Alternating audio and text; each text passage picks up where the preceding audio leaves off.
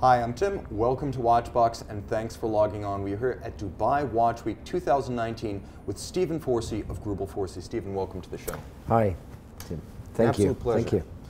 I can't tell you how much I have lusted over the watches you make, even just parts of the watches you make. Mm. And I've got to know how is it that you have 100 people making 100 watches a year? Because that's really an unprecedented ratio of employees to watches. Mm. How much energy goes into creating a normal Greubel Forsey timepiece? Well, thank you, Tim. Yes, um, for Robert and myself as watchmakers, uh, the the whole mission was to seek to revive and uh, transmit and practice hand finishing to kind of rediscover and uh, arrive at a historic level. So uh, at the very beginning, Robert and I set out uh, with that as an objective. Uh, we also wanted to uh, innovate in terms of the technical side, refusing the, um, the kind of conclusion that there was when, when we were students of watchmaking, that everything had been invented. So um, we set out with that, um, with these kind of two pillars, I guess, as a, as a basis. And then from there, we were fortunate. Robert had a good experience in uh, terms of design creation. So he oversees that side, and I'm more on the technical side. So together we, we set out um, to, uh, to bring a new generation of tourbillon. So we uh, discovered and worked and elaborated the inclined tourbillons, inclined escapements, and um, of course that was, um, that was already a, a fairly, a fairly uh, considerable task. But then the, the hand finishing is really an element uh, where it's an average of four and a half months hours, uh, months of uh, man hours in um, each timepiece. And that means that uh, to build around 100, 110 watches, just the hand finishing requires a, a team of 20, 22 people in-house. So, you know, there was, a, there was a lot to do to build up that, uh, that expertise, to practice those skills, um, and then when you combine that with uh, the aspect, we use uh, CNC and modern technologies for, for some aspects to make the raw parts. Um, then the hand finishing aspect, R&D of course. So when you put all that together, it's uh, an average, you know, is pretty close, as you said yourself, to uh, one person, one uh, timepiece per year. So if you've ever wondered what the text on the side or the bottom of a Greubel Forsey timepiece is all about, what he just said. That's it. Yeah, I mean these, um, you know, for for Robert and myself, this um, these are kind of our this is our values. It's a mission statement, I suppose, to have that engraved relief uh, text. Uh, first, uh, we first used that on the Invention Piece One, back in uh, 2007, and uh, there the idea was that uh, we we knew that there were a lot of tourbillon or a certain number of tourbillon watches, historic ones, and yet very few were signed. You know, we don't know who the watchmakers were.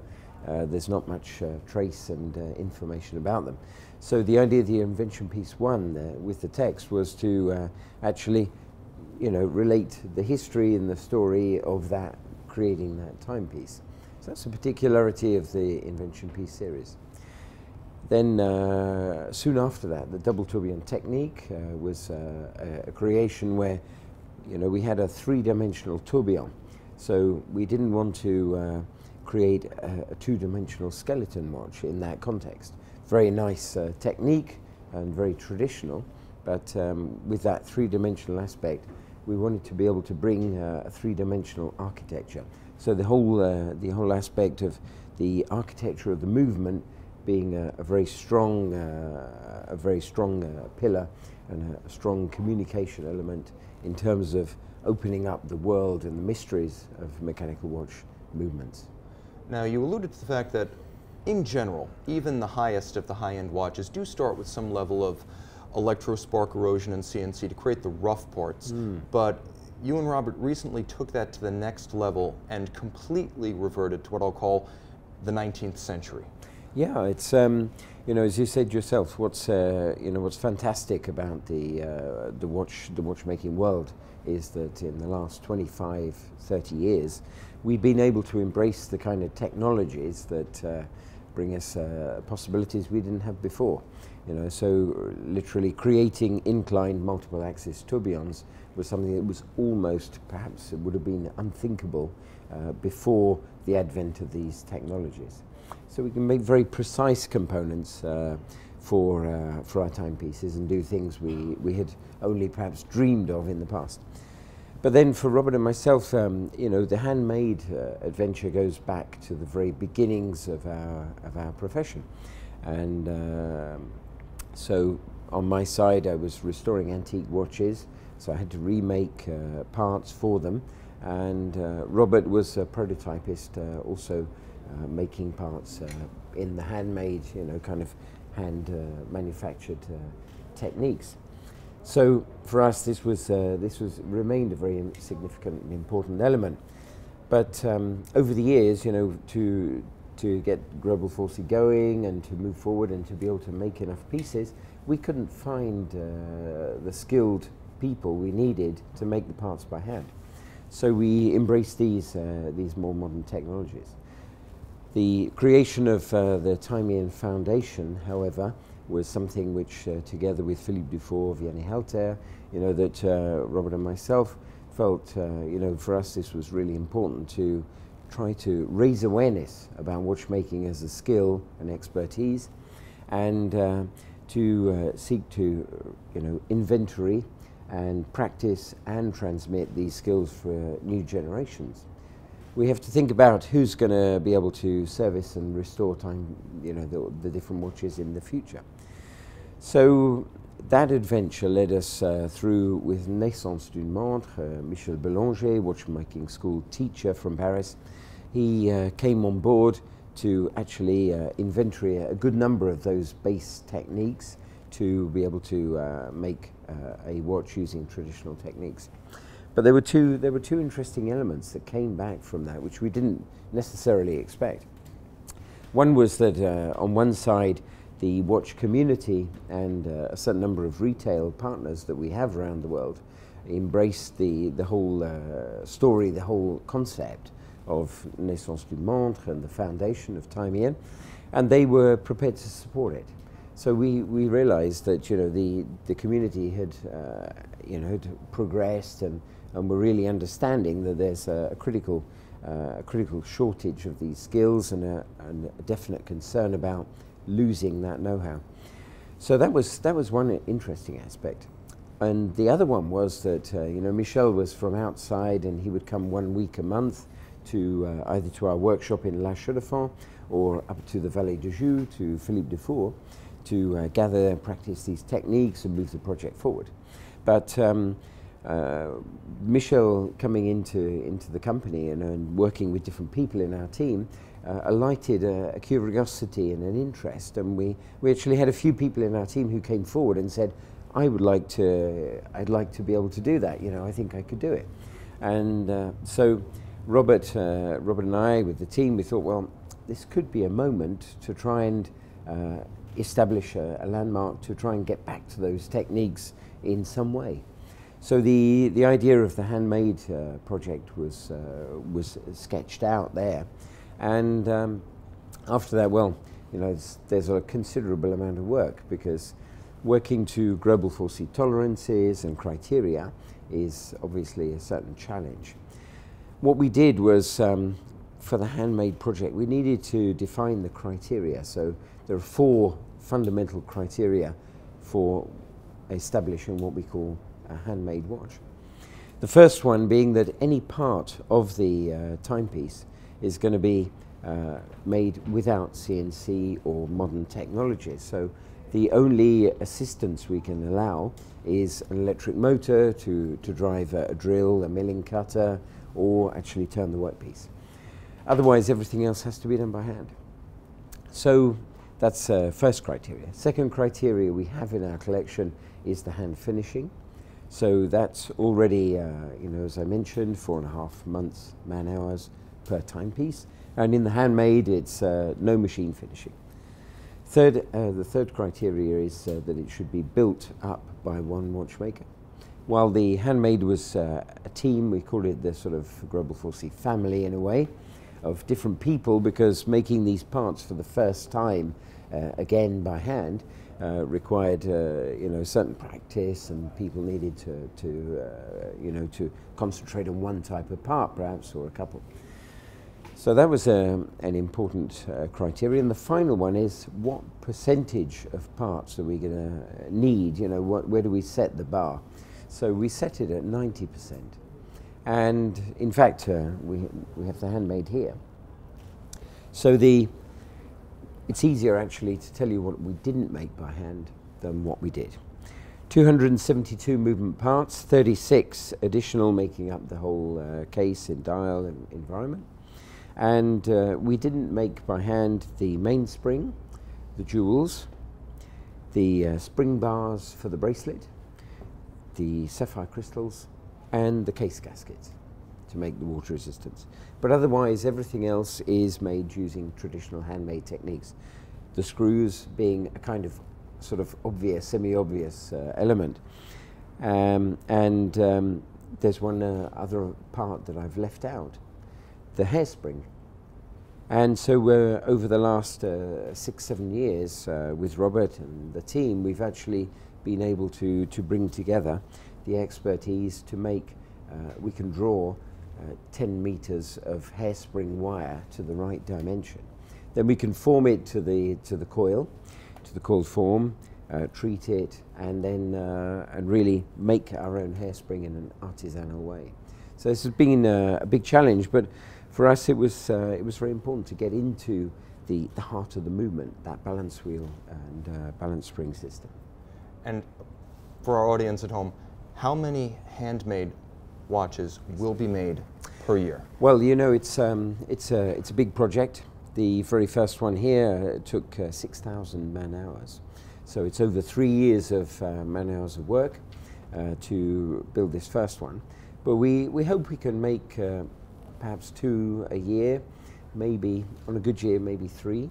Uh, because you see, when you're making the parts, it can all go wrong at any moment because you're no longer in that automated uh, process with the CNC machine. So it's really when you're when you're the um, watchmaker or the uh, precision mechanic is making the part. Any stage in the process, there can be an error, there can be a mistake, a lack of concentration. You know, the whole thing can go wrong. So it's a very, very uh, uh intense uh, process. I like that you mentioned 6,000 man hours to create the first piece mm. because I recently read that Aston Martin Work Service reconstructed a 1950s, I want to say it was a DB3 racer, and the process involved fabricating an engine block, a yeah. full cylinder head, and then the entire aluminum body by mm. hand. Mm -hmm. And that project took 4,000 hours. Right, yeah. So yeah. the extraordinary amount of energy that goes into the watch pretty much explains yes. both its price and its scarcity. Absolutely.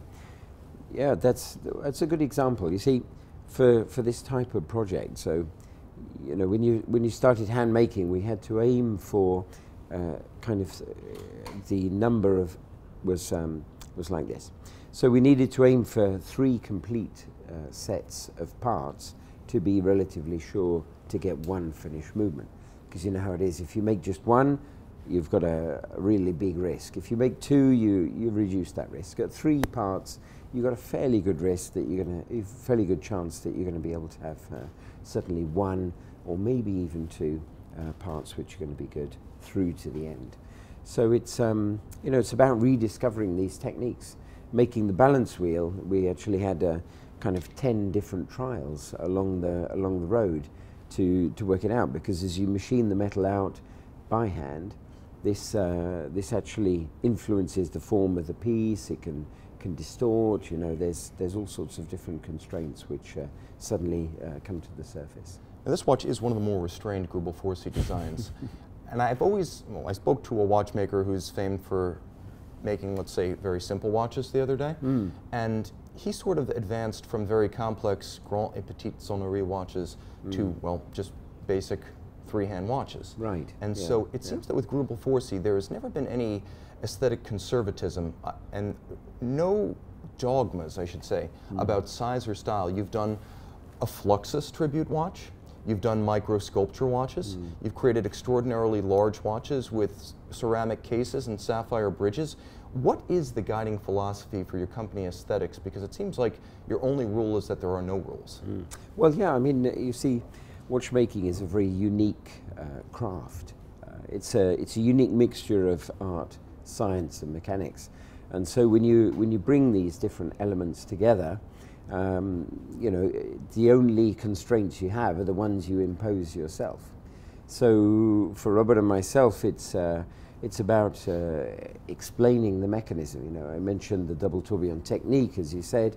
Um, a recent uh, creation we've done is with the ceramic case and uh, sapphire bridges, a complete reconstruction of the, the whole structure and the whole architecture of the movement. Uh, so it's about, it's about sharing watchmaking, it's about uh, engaging, bringing the, the collector and the uh, watch, you know, the watch community, those who, who love watches, um, you know, allow them the possibility to plunge into the mechanism. So while you, as you say, the, the handmade might appear fairly restrained, there's still a lot of architecture there um, and uh, a lot of uh, significant elements which actually make up the, the construction of the movement. Now I understand watchmakers always have a career arc. They generally start, they start small, learning basics. Mm. Eventually they get to hairsprings. Once they move a little farther along, they might do restoration or make their own watch. Mm. And then hmm. ultimately, to make your own watch, you start another career arc. And as accomplished as you are, having started decades ago and spanned Audemars Piguet, et Papi, Complitime, mm. Greubel Forsey, you've probably made just about everything you initially anticipated you'd want to make. Are there any unrequited dreams or future goals that still well, drive you? Yeah, thank you. Uh, definitely. You know, I mean, um, for Robert and myself with the team, we, we've still got uh, at least 10 years of, uh, of, of, ideas rolled out, which are, which are laid out there, which uh, we want to work with. Um, recent uh, developments, you know, the, Actually, Greubel Forsey is like a, it's like a huge research and development project. So from the very beginning, with our approach with the inclined double tourbillon 30 degrees, it was uh, all about relearning and rebuilding the know-how which had been lost through the electronic watch crisis of the 70s and 80s. So we needed to have a laboratory in-house, which we have today, six people full-time, are just building the prototypes and uh, evaluating and qualifying the, you know, the, the different uh, mechanisms we make. But we've uh, more recently uh, talked about uh, mechanical nano. So this is about going back to the very fundamentals of uh, watchmaking where, you know, we have two constraints. We have one is space and the other is the energy and how we use that energy. So uh, looking at that, uh, mechanical nano has enabled us to, to really go into, into detail and to think about energy on a nano joules uh, scale in terms of that and how to use that energy as best we can and to, to be able to push forward. So, you know, the only limitations we have, as I said earlier, um, are the ones we impose ourselves. So once you, once you recognize that you can break down those barriers, you can really move forward and, uh, and come to new, uh, new exciting uh, constructions, new uh, mechanisms. This is one of the great things about uh, watchmaking today. I think that uh, new technologies have brought Uh, additional avenues to what we could do and uh, the creativity has opened up. So, so we're able to actually imagine and uh, realize things which we, we didn't think were possible before. Okay, and I have one more question for those who are new to your brand curious, maybe dating, haven't married yet, what is the single essential Greubel Forsey watch that people need to understand to understand you and Robert? That's that's really difficult one. You know, I mean, um, Robert and I, uh, you know, we launched Greubel Forsey in 2004, and since then we've developed 25 calibers. So there is there is a wide palette. What's interesting is when you look across the the portfolio of the collection, is that they they all belong to uh, the Greubel Forsey family. It's all a continuation and expansion of the same uh, founding uh, spirit. So, I mean, in one side, the, the very first double tourbillon 30 degrees is a, a significant milestone piece because it, it laid the foundation stones for, for what we've been working on and building the team and the whole adventure with our collectors since then. Um, but as much as that, there's a couple of there's a few iconic pieces. I mean, the the asymmetric case uh, stands out as a you know as a as a particular uh, a particular signature of Greubel Forsey. And yet, the perhaps the one of the most iconic and easily recognizable pieces is going to be the GMT, with uh, oversized, large, rotating globe inside the movement, uh, showing us terrestrial time, day and night indication. So that's uh, that's really a, a piece which um, I think is uh, you know collectors as soon as they see that that's that's kind of a it's going to be a target. It's in the pantheon, so to speak. Yeah, I think so. Yeah, yeah. From the man himself, Stephen Forsey of Greubel Forsey. Thank you, Stephen. Thank you, Tim. Super. Time out, Tim out, and thanks for logging on.